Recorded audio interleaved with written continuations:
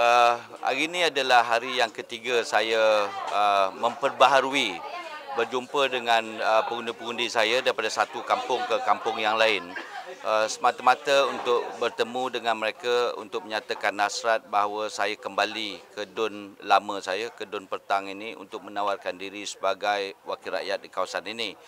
Uh, saya sudah melalui ataupun sudah uh, menjelajah dan berjumpa setiap kampung dan taman di sini.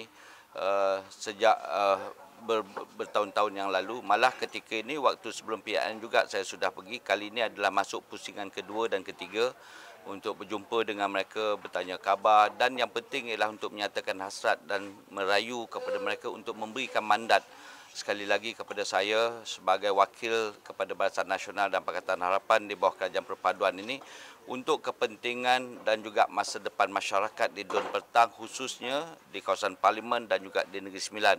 Saya berharap supaya semua pengundi-pengundi kita uh, sama ada orang Melayu, Cina, India dan masyarakat orang asli apatah lagi bagi golongan generasi muda supaya dapat menggunakan peluang 12 hari bulan ini sebagai peluang terbaik untuk memastikan uh, lima tahun yang akan datang Dun Pertang, Jelebu dan juga Negeri Sembilan dapat uh, ditakbir urus oleh kerajaan yang mementingkan soal pembangunan dan juga kesejahteraan rakyat serta uh, kestabilan di Negeri Sembilan ini akan membolehkan uh, kerajaan melakukan pelbagai perkara yang berlipat kali ganda untuk kepentingan rakyat.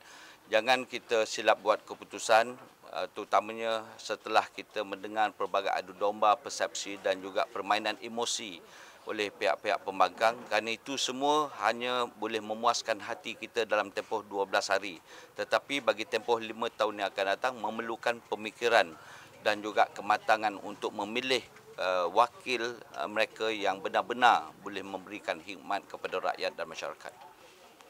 Okey.